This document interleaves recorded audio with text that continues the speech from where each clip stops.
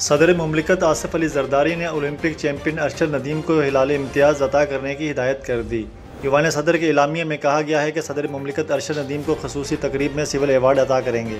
ان کو civil award کھیل کے میدان میں نمایاں خدمات کے اعتراف میں دیا جائے گا۔ صدر مملکت نے کہا کہ ارشد ندیم نے بہترین کارکردگی سے قوم کا سر فخر سے بلند کر دیا۔ اقوام متحدہ میں پاکستان کے مستقل مندوب منیر اکرم نے کہا ہے کہ کلدم ٹی ٹی پی پاکستان اور دنیا کے لیے خطرہ ہے۔ ایک انٹرویو میں منیر اکرم نے کہا کہ کلدم ٹی ٹی پی اور القاعدہ کی ایک دوسرے سے وابستگی ہے۔ دہشت گرد کاروائیاں پورے خطے میں پھیلنے کا خدشہ ہے۔ انہوں نے کہا کہ عالمی برادری کل عدم ٹی ٹی پی اور داعش کے خلاف کارروائی کرے۔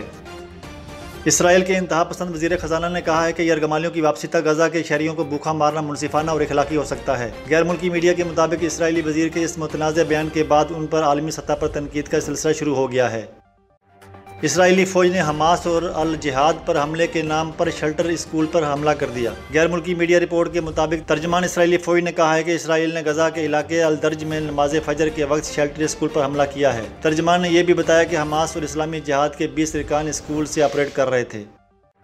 انسداد دہشت گردی عدالت نے سابق وفاقی وزیر فواد چودھری اور اسد عمر کی حاضری معافی کی درخواست منظور کر لی۔ اے ٹی سی لاہور میں جج خالد ارشد نے جنا ہاؤس تھانہ شادمان اور عسکری ٹاور جلاؤ گراؤ اور توڑ پھوڑ کے مقدمات میں ضمانتوں پر سماعت کی۔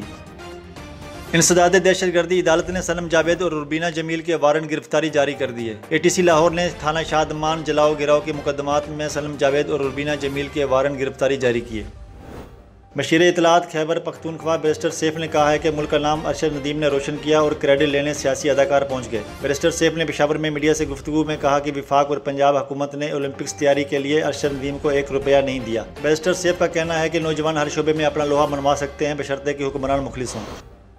کراچی پریس کلب نے تاریخ رقم کرنے والے پاکستانی ایتھلیٹ ارشد ندیم کو کلب کی لائف ٹائم ممبرشپ دینے کا اعلان کر دیا۔